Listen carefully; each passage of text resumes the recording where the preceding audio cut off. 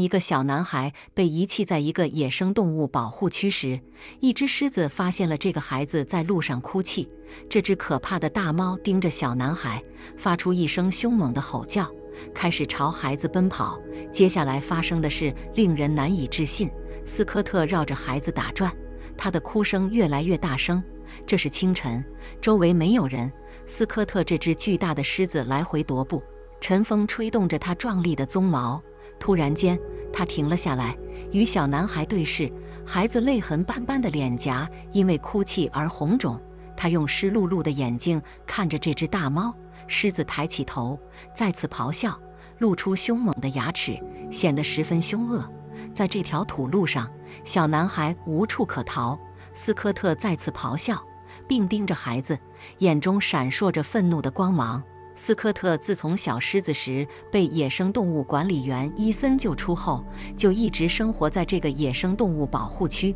伊森在一次偷猎者袭击中找到斯科特，他还是个婴儿，无法没有母亲的生活，因此伊森抚养了他。不论是半夜起来喂食，还是照看他，伊森从十六岁起就在这个保护区工作，因此深知将斯科特尽快与其他狮子分开的重要性。以免它过于依赖人类。这个大型保护区有几个狮群，伊森只希望有一个经验丰富的母狮能接纳斯科特，将他视为自己的孩子。终于，当小狮子够强壮时，管理员将它交给了一个刚生下第三只幼崽的母狮。她是一位勇猛的保护母亲，同时也是伊森见过的最温和的母狮之一。这个组合让他为斯科特的前景祈祷。幸运的是，管理员的经验教会了他如何处理这种情况。牧师接受了斯科特。对于这一结果，伊森感到无比高兴。接下来的几年里，他看着斯科特长大，并从狮群中分离出来。雄狮是孤独的生物，第一次离开狮群的安全总是很危险。伊森知道，在保护区里，斯科特的生存机会更大。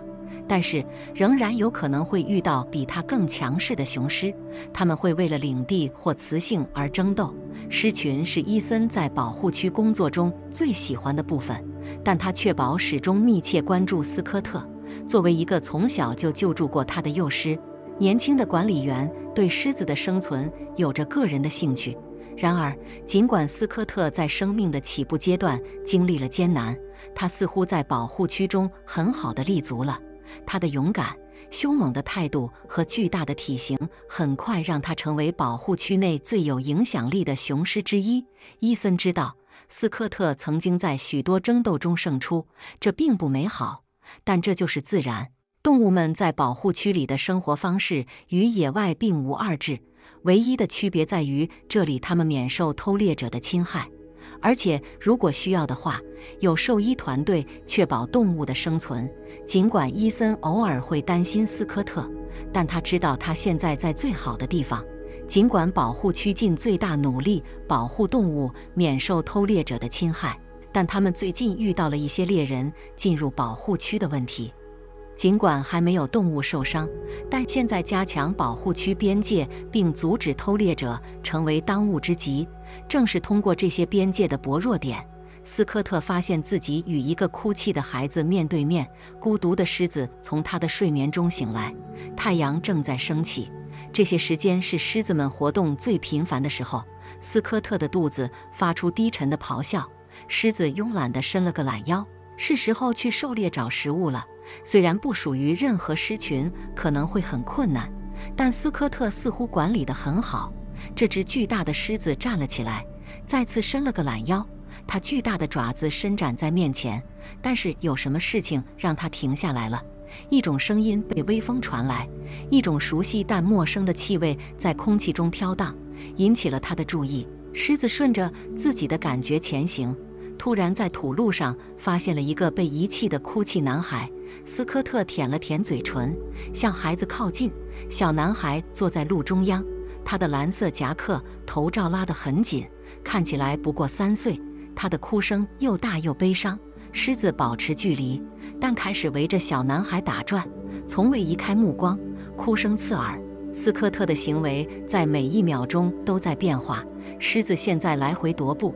仿佛对这种情况感到矛盾。突然间，他停下来，空气中出现了一种新的气味。斯科特嗅了嗅，他的背毛竖了起来。他与那个脸因哭泣而肿胀的小男孩对视，斯科特露出了可怕的咆哮，牙齿暴露在外。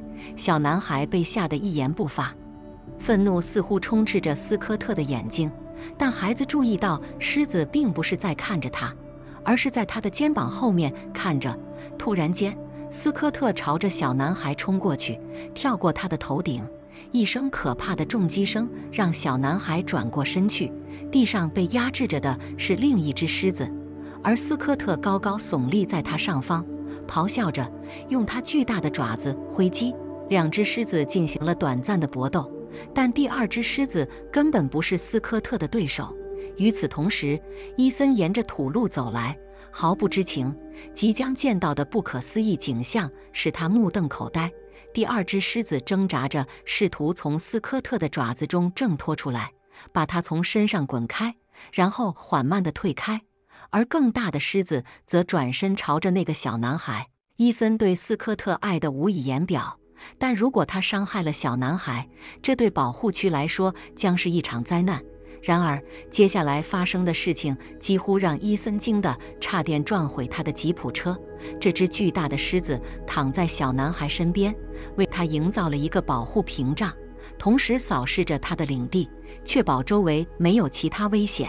伊森刚刚目睹的并不是两只狮子为了食物而搏斗。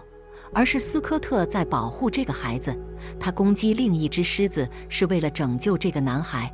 伊森回想起那天他发现斯科特依偎在母亲尸体旁的情景，他是否看到了这个哭泣的孩子身上与自己共鸣的东西？不管发生了什么，伊森都感到惊讶。作为一名管理员，他真诚希望自己正确评估了斯科特，因为即使有狮子保护。他也必须把男孩从路中救出，并找出发生了什么事情。如果斯科特不允许他靠近这个孩子，那该怎么办呢？他不知道该怎么办。伊森熄火，缓慢打开吉普车门。在保护区的所有管理员中，伊森是唯一一个斯科特信任的人。这位年轻的管理员可以花几个小时观察和追踪这只狮子，而狮子从不会感到不安。斯科特总是知道伊森在那里，仿佛他还记得伊森救他的记忆，使他对这位管理员有所不同。现在，伊森希望这种信任能够起到好作用。当他走出车的安全区时，斯科特注视着伊森，慢慢靠近。但这只巨大的狮子并不急于移动，它环视着这位管理员，仿佛在评估他的可信度，然后悠闲地站起来。漫步远去，伊森耐心等待。他通过了斯科特的考验。他不想在狮子离开的时候仓促行动，以免破坏一切。当狮子远离时，伊森抱起孩子，孩子似乎很平静。但是现在狮子离开了，男孩又开始哭泣。伊森别无选择，只能抱着男孩，小心翼翼地慢慢驾车返回办公室。他的脑海里一直在思考。为什么这个孩子会被遗弃在路上？他对斯科特不可思议的行为仍然震惊不已。为了尽快得到关于这个男孩的答案，他决定查看保护区的闭路电视录像，希望能够找到一些线索。然而，当他回顾保护区边界的监控录像时，伊森看到了一件令他心碎的事情：录像显示，在保护区边界外。一个破旧的车子出现在画面中，伊森勉强能看出车上的司机是一个年轻男子。过了一会儿，一个年轻女子从车里爬出来，抱着一个孩子。她迅速四处张望，然后似乎找到了她要找的一个弱点。她费了些力气挤过篱笆，把孩子放在了土路上，正如伊森所看到的那样。这位公园管理员看着女子亲吻了一下孩子的额头，然后又回到了车里，把孩子丢在了那里。伊森看着监控录像，看着这个小男孩寻找他的父母，但他们却已经离开了。伊桑感到比以往任何时候都更加困惑。额头上的吻既温柔又充满爱意，某种直觉告诉伊桑，那位女士似乎感到自己别无选择。只能抛弃那个小男孩，但他为何选择在保护区内一个孩子容易遭遇危险的地方？认为安全摄像头会被看管，孩子会立刻被救起呢？他是否以为附近有护林员能及时营救孩子？年轻人猜想自己永远也不会得到所有问题的答案。当然，他打算竭尽所能找到小男孩的父母，但某种直觉告诉他，他们早已离去。观看录像后，伊桑给小男孩做了些吃的，孩子似乎已经平静下来。于是护林员决定，现在是从他那里获取信息的好时机，然后才会通知当局。然而，孩子看起来很害怕。伊桑从他那里能得到的最多信息就是他的名字叫大卫。现在是时候打些困难的电话了。当伊桑与当局交谈时，他注视着大卫，小心翼翼地吃着食物，脑海里闪过一个奇怪的想法。伊桑在母亲去世后，曾救过幼年时的斯科特。同样的狮子，现在保护着一个被父母遗弃的小孩，仿佛命运已经完整循环。只是这一次，没有人会在孩子离开伊桑照顾后继续留在他身边，而斯科特却一直陪伴着护林员。年轻人知道。他的父母是因为绝望才离开他的。周围的一些村民生活贫困，伊桑也知道照顾一个孩子是需要花费的。他回想起他在录像中看到的大卫的母亲拼命寻找他的父母，内心充满了对孩子一旦离开保护区可能会遭遇的悲伤。当当局到达时，大卫正在用伊桑的手机观看视频。吃过一些食物后。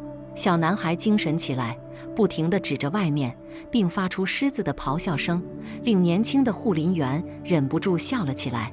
伊桑询问当局对这个孩子的处理方式，他们说，如果找不到任何家人来接孩子，那么他将被送往孤儿院，希望有人领养他。对于一个年幼的孩子来说，这似乎是如此巨大的变动和动荡。伊桑不愿去想象这对他会有何影响。在他来不及深思自己在做什么之前，年轻的护林员自愿照顾这个孩子，让当局去寻找他的家人。这是一个疯狂的决定。他对照顾孩子没有任何经验，但这个小男孩已经像斯科特多年前一样，深深地触动了他的心。然而，仅仅几天后，伊桑接到了一些坏消息：大卫的家人找不到了，这个小男孩将不得不去孤儿院。年轻的护林员注视着这个孩子，在这么短的时间里，他已经适应得如此之好。就在昨天，伊桑带他出去看狮子。这个男孩看到小狮子们奔跑时欢呼雀跃，这段经历对伊桑来说是神奇的。他看到自己如此喜爱的保护区被大卫那双新鲜的眼睛所看待。伊桑知道，将来大卫会对为什么被遗弃有很多疑问。虽然没有人能确切告诉他原因，但总会有人告诉他，他的父母是爱他的。有人会告诉他，一只勇敢的狮子曾经保护过他，挽救了他的生命。那个人就是伊桑。年轻人下定决心，大卫不会去孤儿院。他将收养这个孩子作为护林员。接下来的几个月很艰难，伊桑经历了漫长的收养过程，最终成为了大卫的法定监护人。最终，在所有事情的尽头，新的父子俩一起出去兜风、看狮子，庆祝他们在一起的新篇章。沐浴在傍晚的阳光下，就在大卫被找到的地方不远处，斯科特也在那里。当吉普车慢慢驶过时，狮子注意到一个小男孩透过车窗看着他。